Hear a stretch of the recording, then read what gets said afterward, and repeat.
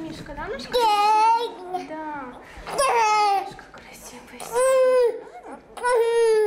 Маша Вахмина появилась на свет в феврале 2022-го. Малышка родилась на 35-й неделе, весом чуть больше двух килограммов. Сразу после рождения врачи обнаружили на теле девочки сыпь, которая была связана с разрывом внутрикожных сосудов.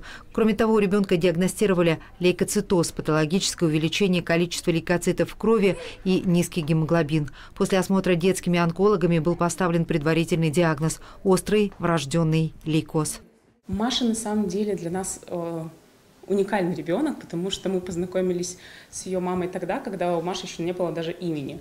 Мы об этом очень быстро узнали в фонде, потому что она, она позвонила нашему координатору, и мы узнали, что ребенок родился, у него обнаружены некоторые как бы, особенности, которые точно надо быстро исключить, либо подтвердить при помощи анализа. Анализ это дорогостоящий. Мы как раз без объявления сбора мы очень быстро смогли оплатить анализ и отправить его на диагностику, и для того, чтобы Маша как можно быстрее был поставлен диагноз. Он был уникальный, потому что до этого младенцы не болели, как бы не выявлялись прямо совсем на такой ранней стадии этот лейкоз.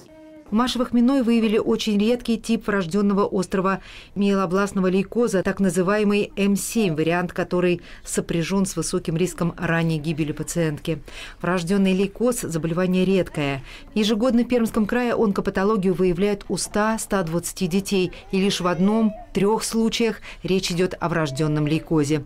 Благодаря вовремя поставленному диагнозу Машу отправили на лечение в Москву. Она стала первой пациенткой отделения неонатальной онкологии Национального медицинского исследовательского центра онкологии имени Блохина. Сейчас Маша в ремиссии и уже дома догоняет своих сверстников. Маша себя чувствует хорошо, улыбается, бегает, наслаждается жизнью, которую потеряла один год. Гуляем, играем в игры, смотрим мультики, читаем книжки. Благотворительный фонд «Берегиня» уже 14 лет помогает детям с онкологическими и другими тяжелыми заболеваниями. Фонд поддерживает пермские семьи на протяжении всего цикла лечения – от поступления ребенка в отделение до наступления ремиссии и весь период адаптации после лечения. Э, самое важное, что помогло нам э, диагностировать у Маши э, лейкоз в таких ранних стадиях, это как раз проект диагностика онкозаболеваний. У нас всегда он открыт на него сбор на сайте, потому что ежемесячно мы помогаем так, в, в этом именно вот, диагностировать заболевания больше 10 детям.